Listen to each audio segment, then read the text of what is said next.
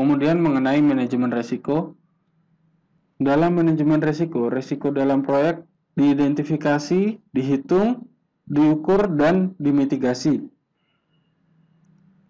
Berikut adalah proses manajemen resiko.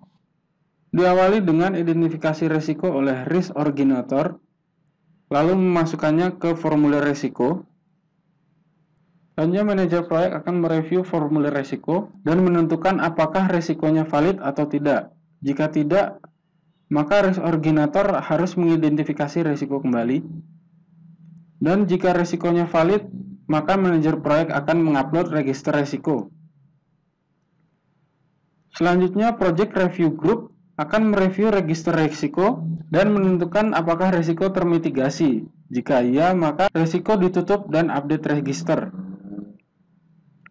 Apabila jika resiko tidak termitigasi, maka project review group akan menentukan apakah diperlukan adanya perubahan.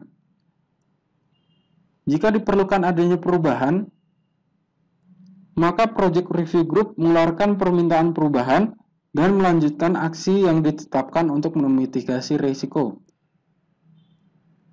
Setelah aksi dilakukan untuk memitigasi risiko, project review group akan mereview kembali register risiko.